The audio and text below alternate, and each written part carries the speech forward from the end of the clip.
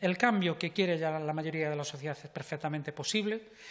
En segundo lugar, que ese cambio se va a producir si nadie que lo desee queda en casa si aumenta la participación precisamente porque hay personas que quieren el cambio y que saben que es posible y, en tercer lugar, en que no se pierda ningún voto del cambio. Por lo tanto, apelamos y apelaremos a que las personas que deseen ese cambio concentren su apoyo al bloque nacionalista galego, que es la fuerza hoy eh, evidentemente mejor situada para liderar esa transformación política en nuestro, en nuestro país. ¿no?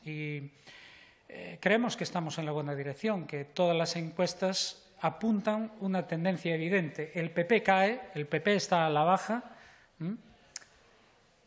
Las encuestas pues, lo sitúan eh, unas eh, en el límite de la mayoría absoluta. Unas un diputado por debajo, otras un diputado por encima, dos diputados por encima, pero en todo caso en el límite de esa mayoría absoluta. Puede perder, y sabemos que va a perder esa mayoría esa mayoría absoluta el, Partido Popular, y por otro lado el BNG es la fuerza que sube, es la fuerza que concentra cada vez más apoyos, que va a subir en representación eh, frente pues a otras fuerzas políticas que se, que se, estancan, a lo que parece que se estancan, o que eh, también con toda claridad van a tener dificultades y probablemente no conseguirán eh, representación. Y en esa medida nuestra preocupación es que no se pierdan votos del, del cambio por falta de, re, de, representación y eso se consigue pues concentrando ese voto en el, en el BNG y con esa convicción vamos a trabajar para hacerlo eh, realidad porque creemos que nuestro país